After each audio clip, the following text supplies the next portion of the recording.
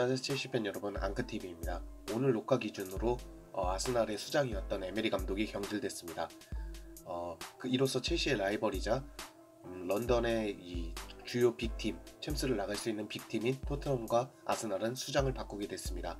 그럼 아스날이 수장이 바뀌면서 향후 아스날은 어떻게 나아갈 것이며 첼시는 아직 상대해보지 않았던 아스날을 어떤 식으로 대응해야 될지 알아보도록 하겠습니다. 음, 사실 토트넘도 아스날도 우리가 둘 다 상대해보지 않았기 때문에 둘 다 대응법을 알아봐야 되겠지만 토트넘 같은 경우에는 제가 여기 어, 무리뉴 감독 편을 한번 찍었기 때문에 그걸 봐주시면 감사하겠습니다. 일단 에미리 감독이 경질되고 나서 융베리 체제로 대행 체제로 가는 것 같습니다. 대행 체제 같은 경우에는 초반에 분위기가 좋을 확률이 높습니다. 뭐 매, 가까운 예로 보면 맨유의 솔샤르 체제도 있고 히딩크 감독 대행 체제, 우리로 보면 히딩크 감독 대행 체제도 굉장히 좋은 성적을 냈습니다. 더 멀리 보자면은 이제 첼시 디마테오 감독의 챔스 우승 시즌까지 있을 정도로 대행 체제에서 좋은 기억을 갖고 있는 팀들이 몇몇 팀 있습니다. 다만 그 대행 체제가 장기적으로 봤을 때 어, 좋은 성적을 내는 팀은 없습니다. 디마테오, 솔샤르, 뭐 히딩크 감독님은 소방수 역할로 왔다가 가셨겠지만 솔샤르 감독이나 디마테오 감독은 현재 보여주는 폼을 보면 디마테오 감독은 성적 부진으로 경질, 지금 솔샤르 감독은 성적 부진으로 경질 위기에 놓여 있습니다. 그만큼 대행 체제가 자리 잡기가 쉽지 않습니다. 기대치가 대행 체제에 있을 때와 정식 감독일 때가 확연히 다르기 때문이죠. 그럼 아스날의 선택지를 봐야 되는데 아스날 위치는 꽤 좋은 편입니다. 굉장히 좋은 스쿼드를 갖고 있습니다. 하나하나 뜯어보면 굉장히 좋은 squad를 갖고 있습니다. 특히 공격진은 어, 리그 내에서도 상위권에 속하는 그런 quality를 갖고 있는 공격진을 갖고 있습니다. 그리고 런던이라는 팀 연고지 그리고 아스날이라는 팀의 위상을 보면 top class 감독을 선임하는 것도 그렇게 어려워 보이진 않습니다.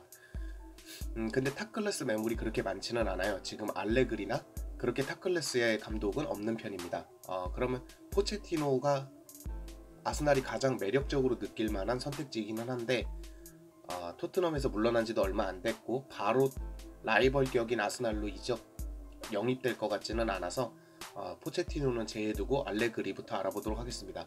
알레그리는 주로 수비적이다. 되게 소심한 운영을 한다라는 얘기가 있는데 그게 리그 운영으로 보면 좋은 장점이 될 수 있습니다.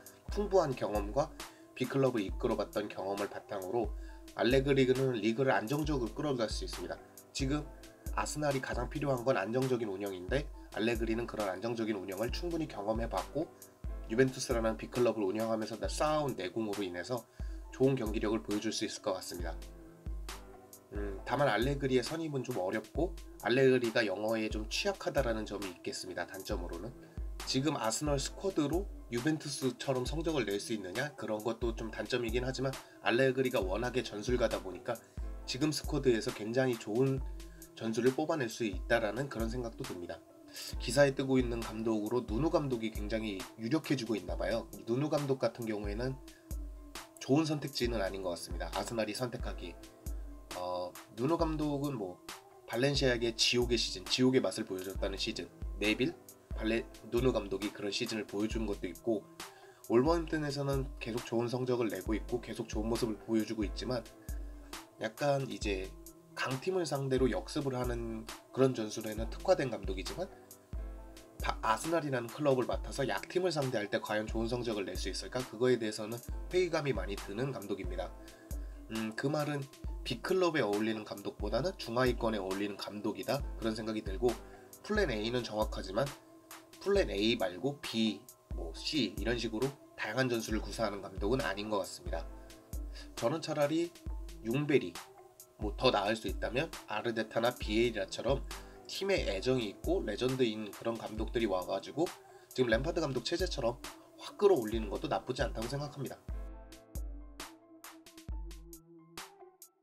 근데 일단 물론 시즌 중에 감독을 구하는 게 굉장히 어렵지만 아스날은 또 특이한 것이 이런 경험이 부족하다는 겁니다. 첼시는 아 자랑은 아니지만 감독을 자주 교체하면서 그거에 따른 구단 내부의 플랜도 있을 것이고 팬들이나 선수들이 받는 충격이나 데미지가 적을 확률이 높습니다. 다만 아스날 같은 경우에는 벵거의 수석 코치였던 12년도에 은퇴했던 팻 라이스가 92년도에 잠시 대행 체제를 맡았던 것 외에는 지금 근 20 몇 년간 대행 체제가 겪어본 적이 없고 융베리 체제인 겁니다. 그만큼 대처 방안이나 대처 방법에 대해서 미숙할 수밖에 없습니다. 실제 가디언에서는 아스날이 대체자를 찾는데 굉장한 시간이 걸릴 수도 있다라는 평가를 내놓은 만큼 어, 아스날은 신중한 입장을 내보일 것이고 그거에 대한 기민한 정책을 빠르게 구사할 수는 없을 거라고 생각됩니다. 거기에 선수진 그리고 팬의 분위기도 굉장히 중요한 문제입니다.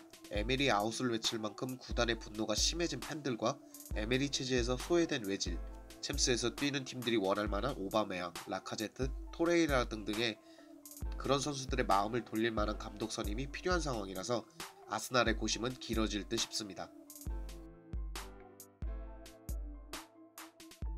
융베리가 아스날의 레전드이자 황금시대를 이끌었던 선수이기 때문에 초반 단합력은 굉장히 좋을 것 같습니다. 감독이 경질이 됐고 선수들도 성적이 좋지 않은 것에 있어서 지금 토트넘처럼 확 분위기를 끌어올릴 것 같기도 합니다. 음, 아스날이 산적해 있는 문제를 빠르게 해결할 수 있는가는 어, 지금 아스날의 융베리에게 달려 있는 것 같습니다. 다만 융베리가 감독 경험이 거의 없고 어, 10 감독 경험은 없고 아스날 뉴스 경험이 있거든요. 그런 경험만 있다 보니까 융베리가 잘할 수 있을까라는 의구심은 들, 아스날 팬들도 그렇고 어, 다른 타팀 팬들도 들 것 같지만 지금 램파드 체제가 이 정도까지 성적을 낼 거라는 상상은 아무도 못했기 때문에 음, 융베리 체제도 뚜껑을 까봐야 된다 이렇게 생각됩니다.